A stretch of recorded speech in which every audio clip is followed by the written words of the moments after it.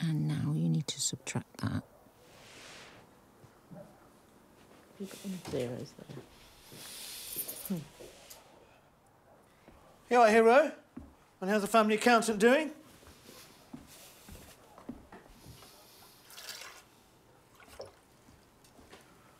So, how'd it go?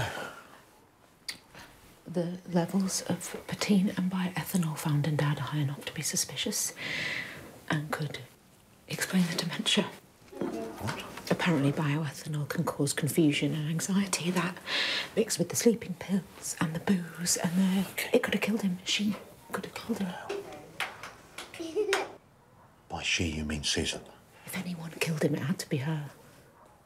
My dad could have been murdered. So, are you going to tell the others Tell them what?